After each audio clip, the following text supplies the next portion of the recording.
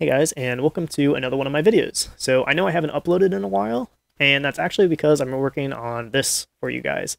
And what this is, as you can see, it's a fully 3D and networked turn-based chess game.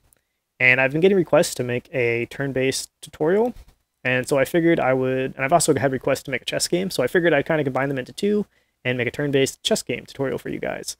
And that originally was the plan, to make a full tutorial series on this, but once I started doing it, it took me about three weeks to get this working uh, and totally finished.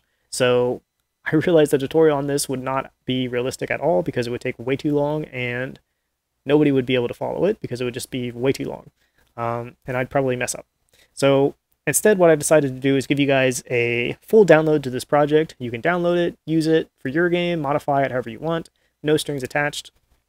And then in this video, I'll be walking you through like how the project's organized, you know, how the code works, because I really want to focus on the turn-based networking portion of it, not so much chess, because I know that a lot of people out there are really looking for how do I make a turn-based game, so I want to focus on that more.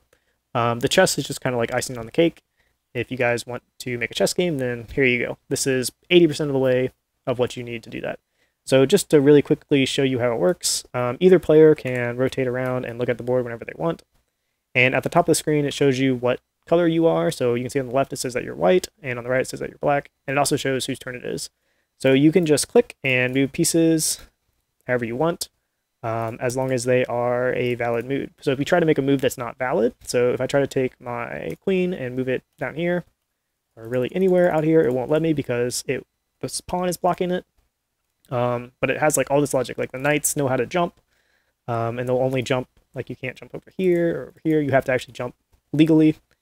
Um, pawns know how to work as well. Like I can attack diagonally with a pawn, but I can't normally move diagonally. So all that logic is hooked up.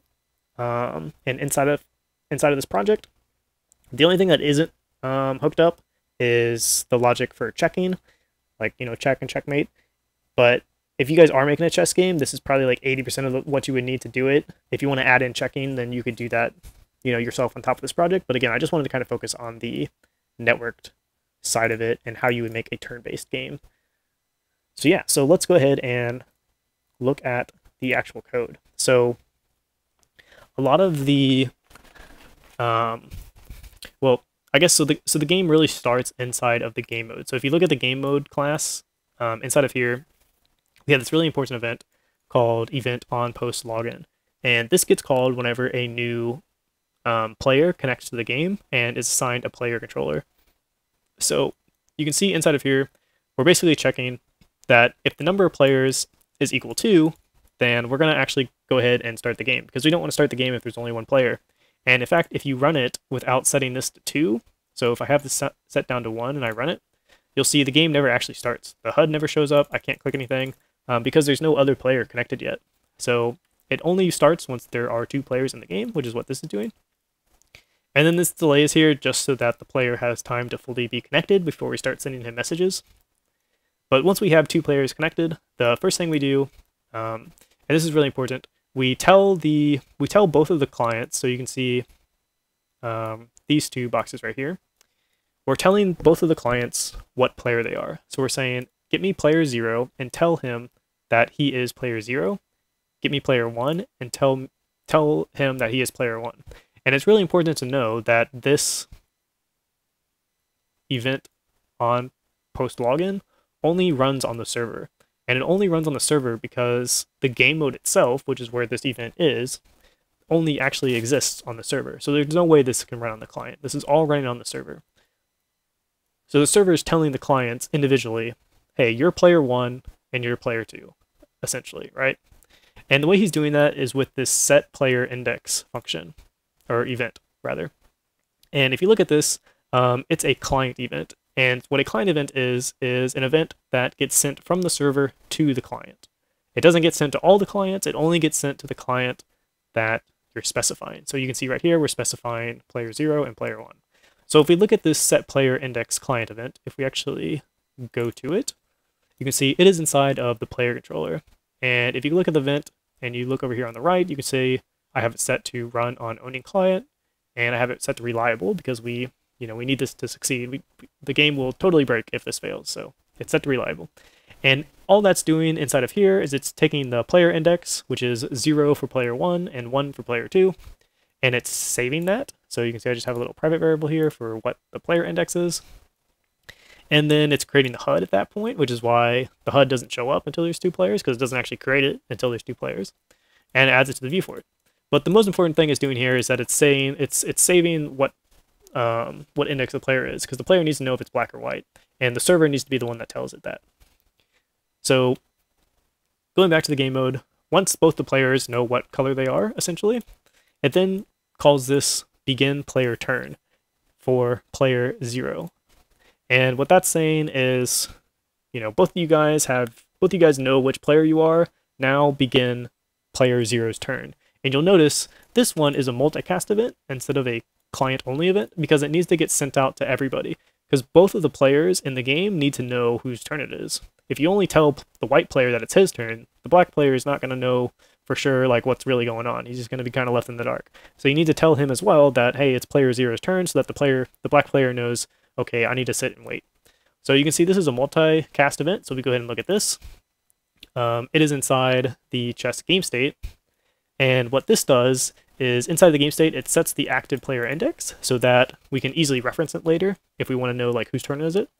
Um, and then it calls the on active player set event. Um, and if we look at this, um, let's find where this is being called. So on active player set. Uh, so inside of the player controller, we in the begin play we bind to this on active player set event, and we bind it to handle player or handle active player set. So if we go ahead and look at that, handle active player set. Inside of here is where the real magic happens. So again, this event is getting sent out to everybody, or both the players. There's really only two players. It's getting sent out to both the players, and it it's passed the active player index. And so all this is doing is saying, hey, is the current player index my player index? And if it is, then it sets the player state to selecting piece, meaning that you know, the current state of the player is that it's on him now to select his piece. Otherwise, we set it to waiting for opponent because it's not our turn, so we're just waiting on the opponent. And so that's how the game kind of starts. And then as soon as the player realizes that it's his turn, his logic will take over. So if we go and look at the player controller, and if we go inside of the event graph, inside of here, if we look at event tick, um, there's a little bit of logic in here just for centering the mouse whenever you're rotating the camera. Um, that's not that important for networking, but the main important thing that happens is this function right here. So we're doing a switch statement on the current player state, and you can see these are all the different player states. So the player can either be waiting on his opponent, he can be selecting a piece, he can be selecting a destination to move that piece, or his turn can be finished. And we're saying, hey, if you are selecting a piece or you're selecting a destination, then go ahead and run this tick hovered tile event. And what this does is it updates the current hover state of the tile. Um, you guys can go in and kind of look at this better, but it's just doing some line traces inside of here to figure out like, hey, where are you hovering? And it's just drawing that little yellow um, square that you see. Oops, let me put it back to two. So that's what's drawing this little yellow square. Um, and again, it only does it for the currently active player. If I try to do it over here, since it's not black's turn, it won't actually draw it. Um, but just to give the player some feedback. Um, so that runs every frame. But then when you actually click something and another event gets called, so if we come back here to the event graph again, and we look at the, sorry, the input graph rather, and we look at input action select, you can see I have the same type of logic set up here where, you know, it's basically saying, hey, is it my turn? And if it is, then we do this handle selection. And this runs a bunch of code that's pretty specific to chess to figure out, hey, you know, what piece are you selecting? Um, is it a valid piece that you are selecting? And if it is, then it checks, okay, where are you trying to move that piece to? Is that a valid move? And it does all of that logic checking inside of here. So if you wanted to add in checking, or if you wanted to add in like checkmate and stuff like that, you would add it inside of this function as well. But ultimately, at the end of this function, it calls um, two things. It's it asks it figures out if it can perform the move, but that's not network. That's just local. And then it calls this networked perform move, and you can see it's a server event. Um, and so what it's saying is it's telling the server, hey, I, uh, this move is valid. uh, I've calculated this move is valid. Please go ahead and actually apply this move because the server is the one who should actually be moving the pawns or the bishops or the rooks or the pieces on the board around. If the client moves it, then it's only going to move on the client side and the server won't even know about it. But if the server moves it, um, it gets replicated to the client, and so he sees it as well. So he actually tells the server to move the piece, and then he sees that the server moves the pieces, and that's what keeps it in sync. So he tells the server where to move, and then finally he calls end turn. So if we go ahead and look at end turn, um, it's just a little event out here that calls the game state end player turn, which tells the server again, hey, please, um, please end my turn. So if we go ahead and look at this, we uh, in the game state, it's checking the current player index, and if it's zero, then it sets it to one, and if it's one, then it sets it to zero. So basically, whenever it gets the end turn event, it just flip flops the current player around, and then it calls begin player on that new player. And so that's what allows it to go from one player to the other. Um, so yeah, that's pretty much the gist of the project. There's again, there's a lot of code in here that's specific to chess. Um, so if you want to look at that, feel free. If you have any questions, uh, my Discord will be in the description as well. But I just wanted to share this project with you guys. Again, I was going to make a tutorial, but it would take way too long. I actually tried to do it, and I just kept, like, it was just too much. There's just too much in here to make a tutorial series out of it. So I just wanted to kind of explain it to you guys as best you can, and then I just decided to give you guys the source code instead. So um, hopefully you guys uh, can appreciate that. Uh, if you enjoyed the video, please, please leave a like and subscribe, and feel free to message me, again, if you have any questions about it, and I'll be happy to answer them. Or leave a comment. Thanks.